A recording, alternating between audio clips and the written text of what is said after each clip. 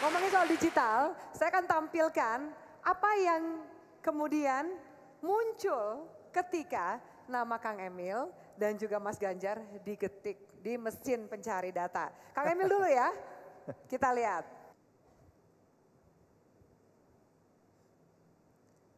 Oke, yang muncul ini, ini banyak kan Dilan sebenarnya ya. Algoritma Google itu akan menampilkan minat dari pencari data yang yang mereka tulis.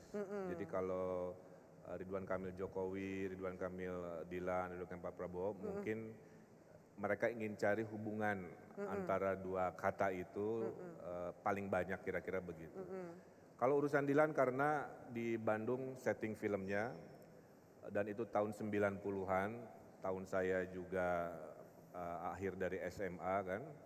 Kemudian juga filmnya sukses dua kali Iya.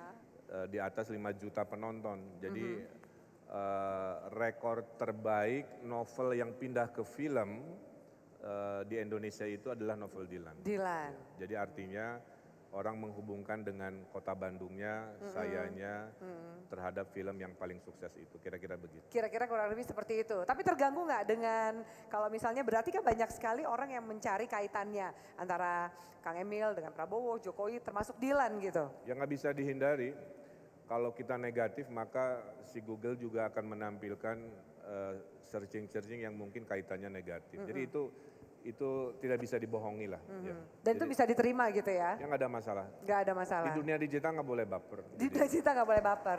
Oke. Kalau kita ketik namanya Ganjar Pranowo, yang muncul tuh apa sih? Muda, Jokowi, marah dan keluarga loh.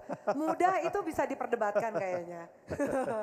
Jokowi marah. Nah, dulu kan kayaknya cuma satu kali Mas Ganjar kan marah itu loh. Iya, iya. Waktu itu soal pungli aku ingat, cuma sekali tapi ternyata masih jadi mungkin banyak orang yang masih penasaran gitu. Ternyata setelah saya tidak marah, orang kok rindu marah. Pak Ganjar kok sekarang nggak pernah marah lagi, mbok marah lagi di jembatan timbang begitu. Saya marah, dosanya buat saya, dosanya buat kamu mau nggak? Saya bilang gitu. Ternyata Berarti itu fenomenal. Iya.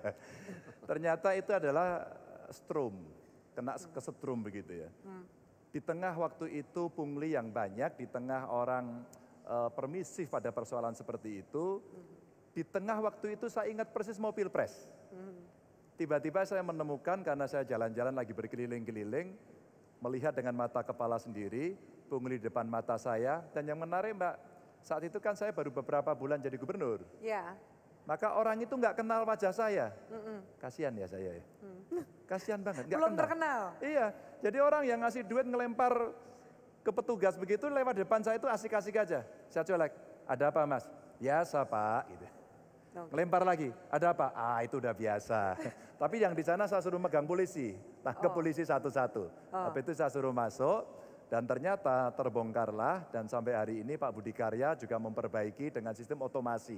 Hmm. Jadi marah yang sekali itu ternyata eh, banyak diingat orang dan itu saya tobat mbak itu.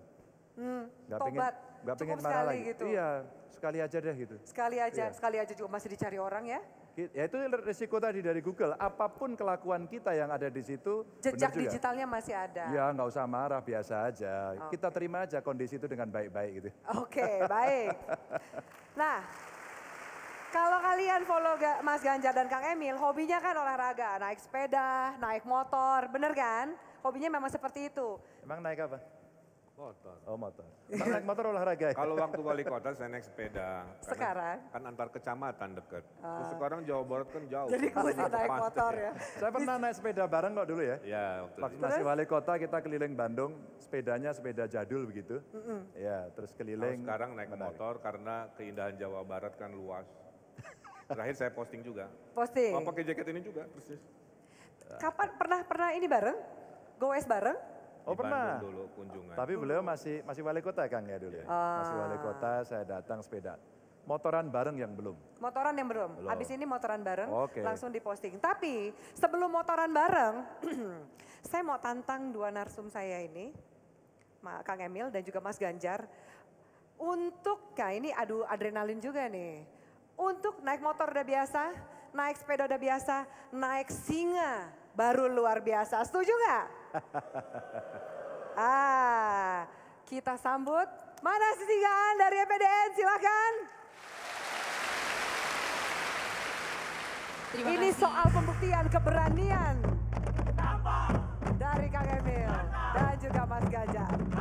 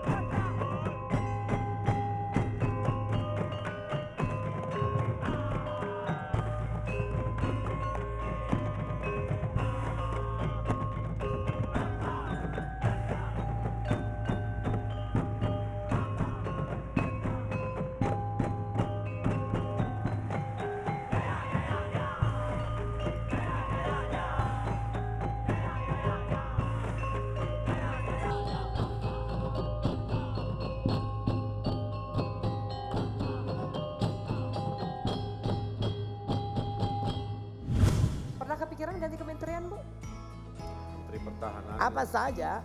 Apa, Apa apa Emil? Menteri Pertahanan ya. Bakar, Pertahanan ya. tembak, hancurkan.